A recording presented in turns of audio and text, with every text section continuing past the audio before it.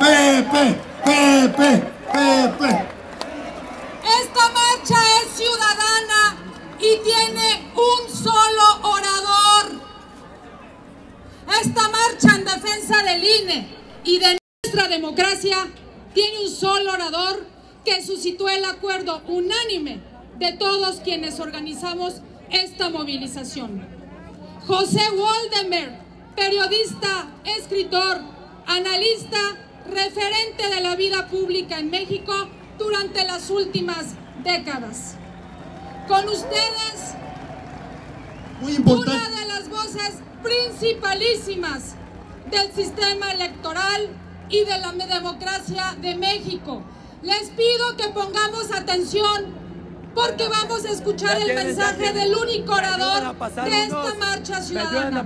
José Waldenberg. Na- que nadie se vaya antes de cantar el himno nacional. En ese momento tomaremos una gran foto histórica. Escuchamos a Pepe Goldenberg. Gracias.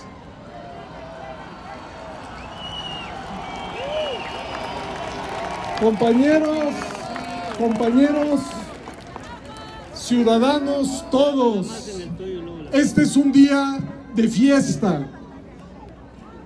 Estamos aquí reunidos con un solo objetivo, claro y trascendente, defender el sistema electoral que varias generaciones de mexicanos construyeron, que ha permitido la convivencia y competencia de la pluralidad y la estabilidad política, la transmisión pacífica de los poderes públicos y la ampliación de las libertades.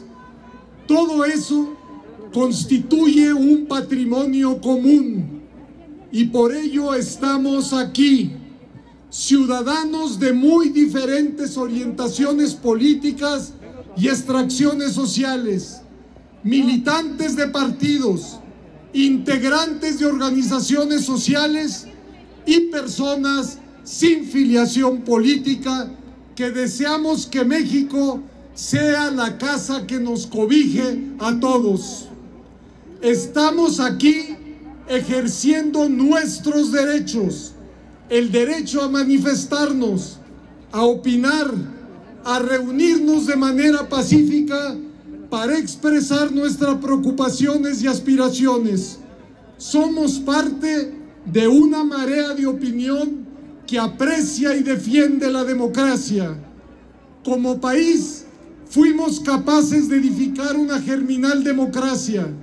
Dejamos atrás el país de un solo partido, de un presidencialismo opresivo, de elecciones sin competencia ni opciones auténticas, de poderes constitucionales que funcionaban como apéndices del Ejecutivo, de medios de comunicación mayoritariamente oficialistas para abrirle paso a la expresión y recreación de la diversidad política, a elecciones libres, disputadas y creíbles, a congresos plurales, gobiernos de diferente orientación, pesos y contrapesos en el entramado estatal y sin duda una espiral virtuosa que amplió el ejercicio de las libertades.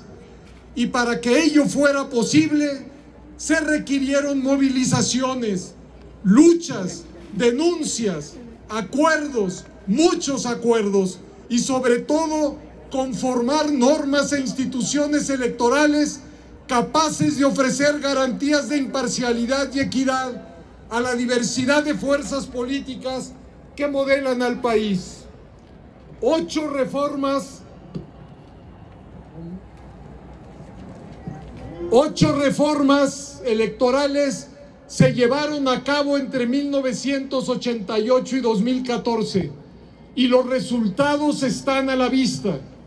Fue necesario edificar autoridades electorales autónomas, tribunales capaces de desahogar la aguda conflictividad, construir condiciones equitativas de la competencia, puertas de entrada y salida para las distintas corrientes políticas que cristalizaron en partidos y de manera paulatina pero sistemática nos acostumbramos a la diversidad, a las contiendas competidas, a la alternancia en los ejecutivos, a los congresos plurales y a los mecanismos de diálogo, negociación y acuerdo que los mismos reclamaban.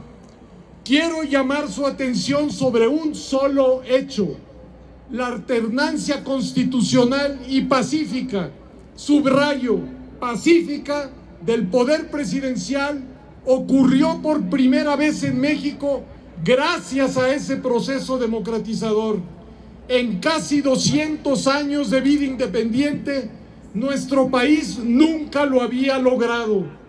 Esa democracia se construyó con los trabajos de millones, de varias generaciones de mexicanos y mexicanas, cuyo edificio culminante fue el Instituto Nacional Electoral.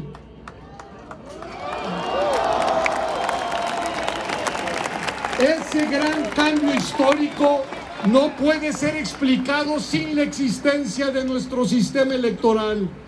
La titularidad del Poder Ejecutivo ha, cambiado y lo ha conquistado a veces el partido A, el partido B, el partido C. El Poder Legislativo ha recogido los cambios en las preferencias políticas de millones de mexicanos. Las minorías de ayer son las mayorías de hoy. Y en todo el país ese proceso se repite y se ha naturalizado a lo largo de casi tres décadas. No llegamos a una estación final, tampoco a un paraíso, apenas a una germinal democracia, pero que nos ha permitido asentar la pluralidad política y que la misma pueda coexistir y competir de manera pacífica. El problema mayúsculo, el que nos ha traído aquí, el que nos obliga a salir a las calles, el que se encuentra en el centro de la atención pública, es que buena parte de lo edificado se quiere destruir desde el gobierno.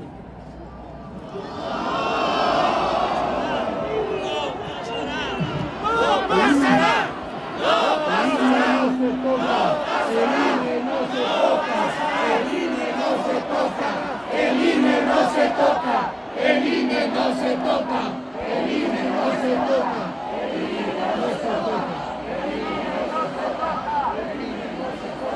Es necesario insistir en eso porque significa no solo una agresión a las instituciones existentes, sino a la posibilidad de procesar nuestra vida política en un formato democrático. México no puede volver a una institución electoral alineada con el gobierno, incapaz, incapaz de garantizar la necesaria imparcialidad de todo el proceso electoral. Nuestro país no merece regresar al pasado porque lo que lo, porque lo construido permite elecciones auténticas piedra angular de todo sistema democrático. México no puede destruir las destrezas profesionales, los conocimientos adquiridos y el compromiso de los funcionarios que integran los servicios civiles de carrera. México no puede centralizar todos los procesos electorales en dos instituciones descomunales, no solo porque somos, según la Constitución, una república federal, sino porque ni el INE ni un solo tribunal podrían con eficiencia lo que hoy encuentra causa y solución en 32 entidades soberanas. Otra vez intento ilustrar lo que digo con evidencias. Desde la última reforma electoral en 2014 se han disputado en los estados y la Ciudad de México 55.336 cargos de elección popular, entre ellos 55 gubernaturas, 93 legislaturas y 5.932 ayuntamientos. Tan solo el año pasado, los institutos estatales registraron 275.424 candidatos locales. Con tales números, les pregunto, ¿es deseable y posible concentrar, centralizar y administrar ese universo político en una sola institución? Por eso México no puede deshacerse sin contemplaciones del entramado federalista en materia electoral, sin perder en eficacia y confianza. Tampoco de los tribunales en materia electoral, porque siguen siendo necesarios para desahogar el permanente litigio que acompaña nuestras elecciones. México no merece, México no merece una reforma constitucional en materia electoral impulsada por una sola voluntad, por más relevante que sea. Hay importantes lecciones en el pasado. Las reformas que fueron fruto de voluntades colectivas forjadas con los métodos probados y comprobados del diálogo y el acuerdo. México no puede ni debe trasladar el padrón electoral a otra institución porque el INE ha cumplido con creces en la elaboración de un listado confiable cuyas credenciales se han convertido de facto en la cédula de identidad ciudadana.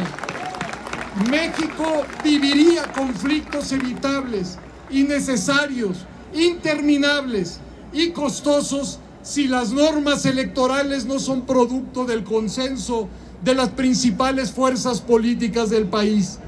Quienes estamos hoy aquí, ciudadanos, todos en el ejercicio de nuestros derechos, sabemos, porque lo vivimos, que nuestro país laten diferentes formas de pensar, distintos intereses y cuerpos valorativos, diversas plataformas políticas e ideológicas, y que solo desde el autoritarismo más ciego se puede aspirar a homogenizar esa riqueza de expresiones.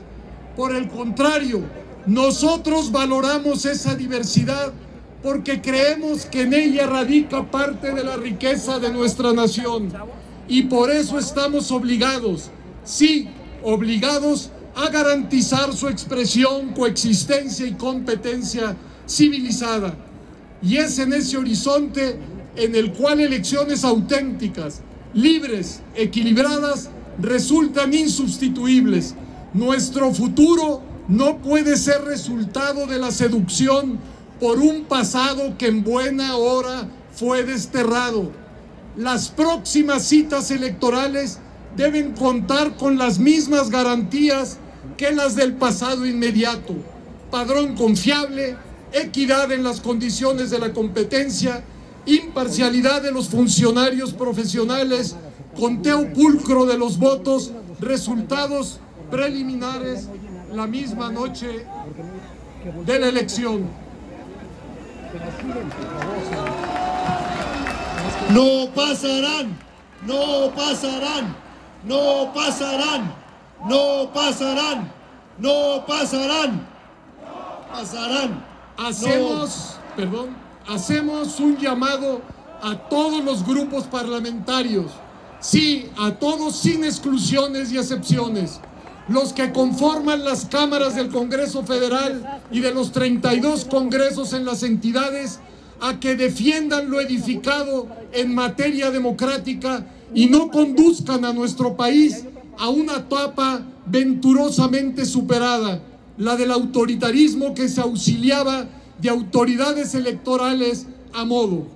El día de hoy refrendamos nuestro profundo compromiso con la democracia y con ello defendemos un sistema electoral que nos cobija a todos y que permite la coexistencia de la diversidad y la sustitución de los gobiernos por vías pacíficas y participativas.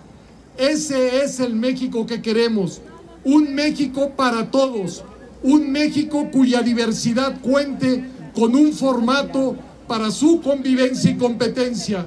Por ello decimos no a la destrucción del INE, no a la destrucción de los institutos locales, no a la destrucción de los tribunales locales, no a la pretensión de alinear a los órganos electorales a la voluntad del gobierno, no al autoritarismo, No, sí a la democracia, sí a un México democrático.